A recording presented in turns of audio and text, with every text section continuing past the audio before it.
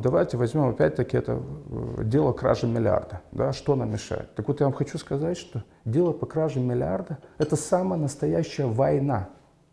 Между война, кем и кем? Война прокуратуры со всеми другими структурами, юстиции, структурами государства, которые не только блокируют деятельность прокуратуры или не оказывают содействие прокуратуре, но блокируют нашу деятельность. Ну, Это давайте, поч- а, давайте э, я... э, э, это я хочу, чтобы вы конкретно привели пример Хорошо, такой я войны. привожу, Но просто я привожу Да. конкретные примеры. В сентябре месяце мы завершили уголовное дело в отношении Виктории Банк и госпожи Политовой. Мы ознакомили фигурантов дела с материалами дела, и уже в начале ноября мы готовы были дело направить в суд.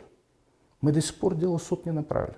Почему? По той лишь причине, что у нас очень изобретательные судьи и адвокаты. Э, Кулибины и Попова просто отдыхают. Что делают адвокаты? После того, как дело, дело закончено, и никто туда больше вмешиваться не имеет права. И тем не менее, А что адвокаты вменяет- что находят... вменяется А Политовой я объясняю, я объясняю, ничего не меняется с нашей точки Нет, что зрения. вменяется им, что им А. предъявляется? Значит, Виктория Банк и госпоже, госпоже Политовой меняется участие в хищениях, в отмывании денег и злоупотреблении. Виктория Банк, как юридическому лицу, потому что юридическое лицо может привлекаться к уголовной ответственности только по некоторым, э, э, вменяется отмывание денег. Для нас это дело важно с многих точек зрения. С точки, в первую очередь, с точки зрения того, что до сих пор никто в отношении этого банка никаких следственных действий не предпринимал. Хотя участие банка в этих схемах привело к тому, что из государственного бюджета изъяли более 2 миллиардов леев. Мы посчитали, я посчитал и вместе там команда, что э, мы должны привлечь этих людей к ответственности, мы завершили. Так вот, то, что, сделала судебная инстанция? Адвокаты обжаловали постановление прокурора о том, что дело в отношении Политова Виктории Банк было выделено с общего дела. Хотя это исключительная компетенция прокурора, и никто не имеет туда вмешиваться. Что вы думаете, сделала судебная инстанция? Судебная инстанция признала, что незаконно прокурор выделил. Хотя, еще раз говорю, таким образом уничтожив всю доказательственную базу. То есть судебная инстанция изначально похоронила все дело.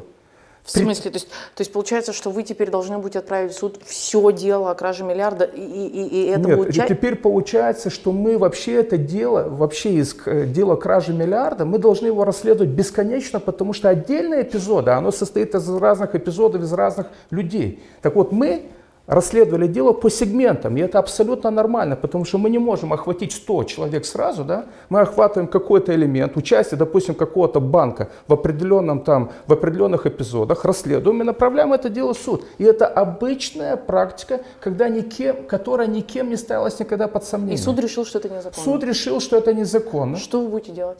Нет. И при этом лишил нас возможности обжаловать это решение дальше.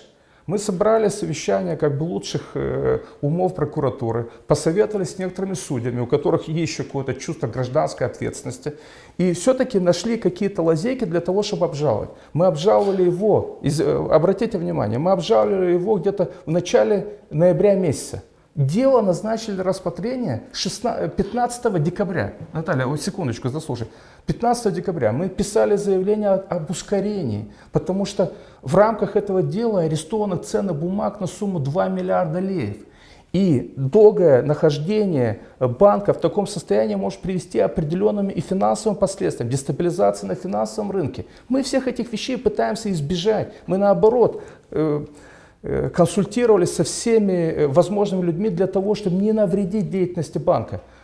15 декабря мы ждем, что наконец-то это дело будет рассмотрено. Опять начинается комбинация судейского характера, и дело откладывают на 26 января. А скажите, вот эти комбинации судейского характера, о которых вы говорите, господин Стояноглов, все в этой стране, кто хоть раз в жизни сталкивался с судебной системой, я имею в виду людей более-менее обеспеченных, представлявших крупный бизнес, группы интересов, э, политические круги, прекрасно знают, что эти комбинации это означает дать взятку судье.